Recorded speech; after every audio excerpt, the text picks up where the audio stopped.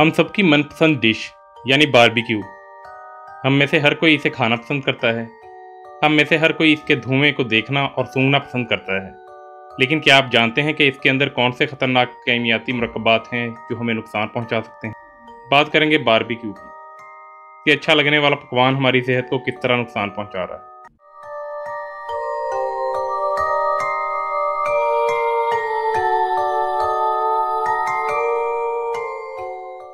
वालेकुम दोस्तों, मैं हूँ इरफान अहमद और आप देख रहे हैं वाइट लाई ब्लैक ट्रूथ हम में से ज़्यादातर लोग जिनमें बच्चे, बूढ़े और जवान सभी आग पर पकाए जाने वाले गोश्त, यानी ग्रिल्ड मीट को खाना पसंद करते हैं। ये मशरकी और मगरबी मालिक में सबसे ज़्यादा पसंद की जाने वाली डिश है।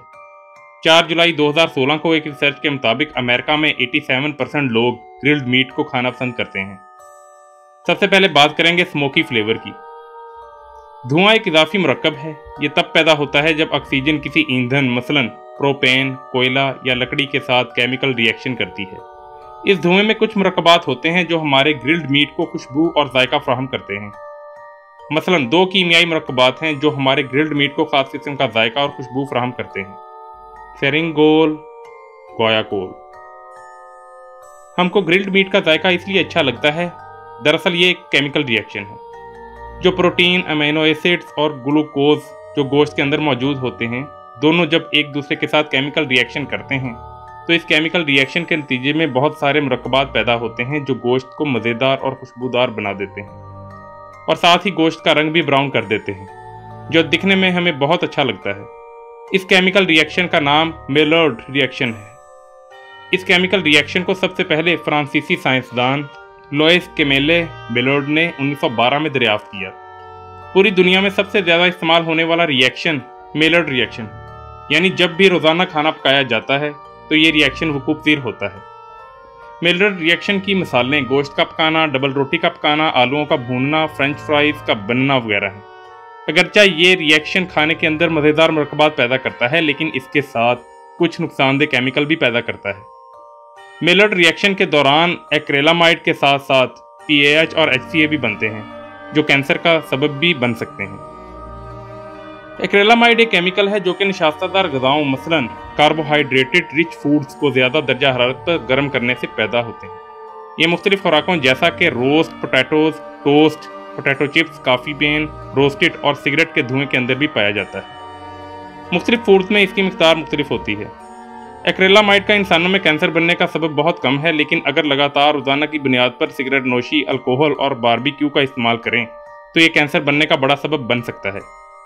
लेकिन इनमें सबसे ज़्यादा खतरनाक मरकबात पी और एच हैं। पी कोयले, लकड़ी, आयल और गैस की कम्बस्टन से पैदा होते हैं।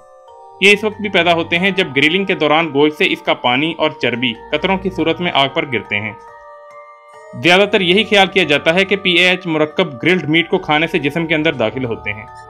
लेकिन लेटेस्ट रिसर्च के मुताबिक ये मरकब स्किन के ज़रिए भी जिसम में दाखिल हो सकता है। ये research Jinan university of China के साइंटिस्ट एडी वाइजेंग ने की और देखा कि पीएच किस तरह हमारे जिसम में स्किन के ज़रिए पेनिट्रेट करता है।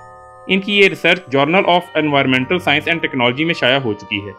इनकी रिसर्च के मुताबिक ग्रिल्ड मीट को खाने से पीएच जिसम में ज़्यादा दाखिल होते हैं। दूसरे नंबर पर स्किन के ज़रिए और तीसरे नंबर पर सांस के ज़रिए भी दाखिल होती है। पी की वजह से आपको ब्लड और लीवर अपनॉर्मेलिटीज और कुछ किस्म का कैंसर भी हो सकता है।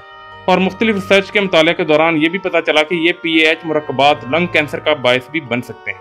पी ए एच सिगरेट के धुएँ और कार एग्जॉस्ट फ्यूम्स के अंदर भी मौजूद होते हैं। अब बात करेंगे एच सी एम रकबात की।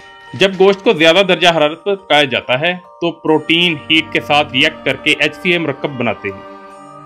आम अल्फाज में ये तब बनता है जब गोश्त ग्रिल्ड के दौरान जल जाता है। तो इस जगह पर बड़ी मकदार में एच जमा हो जाते हैं।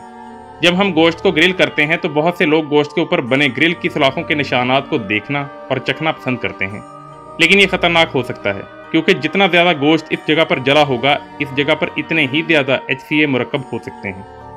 अगर हम अपने कुकिंग के टाइम और टेम्परेचर को बढ़ाते जाएँ तो एच बनने के इम्कान भी इतने ही ज़्यादा होते जाएँगे।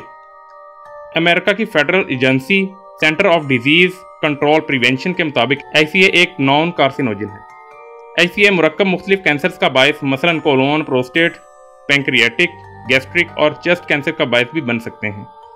अगर रोज़ाना की बुनियाद पर चर्ड मीट यानी जला हुआ गोश्त खाया जाए तो पेंक्रियाटिक कैंसर होने के इम्कान 60 परसेंट तक बढ़ जाते हैं। मैं जानता हूँ कि मेरी इन बातों को आप झूठा कह सकते हैं, क्योंकि मेरे कहने से कुछ भी साबित नहीं होता। इसीलिए मैंने एविडेंस के तौर पे लिंक डिस्क्रिप्शन में दिए हैं। अब सवाल ये पैदा होता है कि हम बारबेक्यू के तबाक असरात को किस तरह से कम कर सकते हैं? हमें ग्रिल में चारकोल की बजाय कुदरती गैस और प्रोपेन को इस्तेमाल करना चाहिए।